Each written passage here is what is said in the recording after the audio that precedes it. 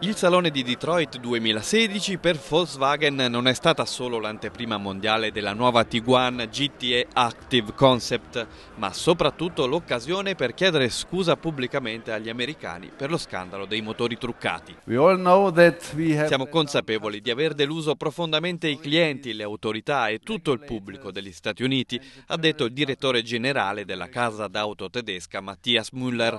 Voglio scusarmi di nuovo per quanto non ha funzionato alla Volkswagen, ha detto il manager, che poi ha parlato degli investimenti sul territorio americano in Tennessee. Volkswagen has invested over 1 billion dollars in Chattanooga. Volkswagen ha investito oltre un miliardo a Chattanooga, ha spiegato, e sosteniamo fermamente l'investimento di 900 milioni di dollari nel SUV di media gamma.